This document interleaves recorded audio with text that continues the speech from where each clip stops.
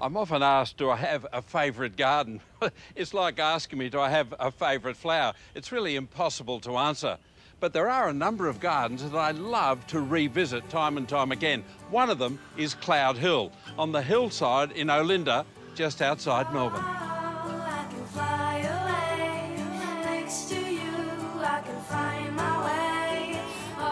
Jeremy Francis created this stunning garden and knows it inside and out. Now, I've been lucky enough to enjoy the many faces of Cloudehill as it journeys through the seasons. But this year, Jeremy tells me he saw the garden in a whole new light as unusual weather extended summer flowering well into autumn. We started work right here in 1992, so that's 28 years ago now. And in 28 years, I've never seen a summer quite like this one. Cloudehill is cleverly divided into sections or garden rooms. This allows for different themes or colours to really create points of interest. Now, these cool borders are stunning, filled with silvers, blues and a pop of pink. The aster, Little Carlow, is looking just glorious and the big ornamental grasses are putting on a great show. The alstroemeria have been flowering for six months, with plenty more to come.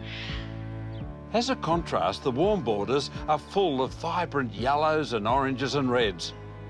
The heleniums are just magnificent, still flowering weeks after they usually finish, as are the dahlias.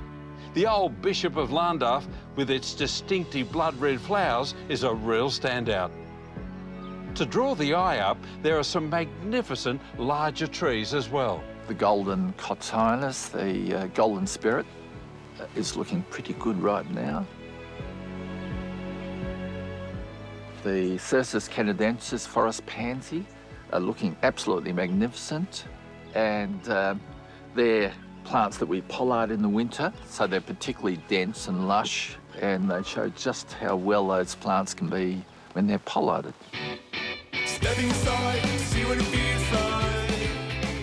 It's a really severe form of pruning, pollarding. Now, in Europe, for centuries, they've pollarded willow, the salix, to get those lovely new shoots to make into, into bamboo baskets and the like. Now, what Jeremy was doing to his yellow leaf form of cotinus or smokebush, I've done here the same thing with our purple leaf form of cotinus. This smoke bush is called Grace. Now, it would normally be up to about five or six metres. I haven't got the space for it. But I like all the foliage down at ground level. So we cut it down really hard every second year. We get this lovely new purple growth and then the smoky flowers later in the season. And we can see them right in front of us. All that extra growth at Cloudehill means extra pruning. Hedges that Jeremy would normally clip once a year are getting a second or even a third haircut to keep them at their best. An aspect of Cloudehill that I've always loved is the integration of artwork and sculpture into the garden. Now, it's quite an eclectic mix from the traditional to quite modern there's always something new to discover, like these life-size works by sculptor Graham Foote, which form part of his Eminent Australian Women series. Art in a landscape is a great way to focus the view, drawing you through the planting in a sort of multi-century experience.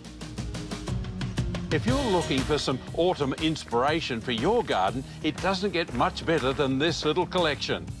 The Sedum Autumn Joy is looking magnificent and the Buddleia is really interesting. It's a Buddleia crispa, which is great for summer foliage. There's quite an unusual hydrangea, Aspera strigosa, which can be very sensitive to full sun, but is doing magnificently here. Providing a backdrop to this picture Senkaki maple is showing late summer, early autumn colour. Jeremy's knack of finding really unusual plants and then experimenting with the planting is a real feature of Cloudehill. What's my favourite section of Cloudehill?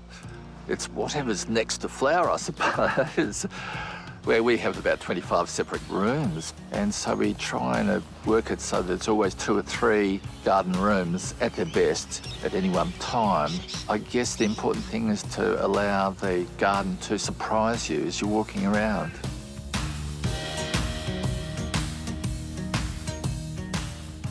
You know, you really should put Cloudehill on your list to visit or maybe revisit in another season. It's not only beautiful to look at, but as you walk through all the different garden rooms, you come across uh, another piece of inspiration and a surprise around every corner.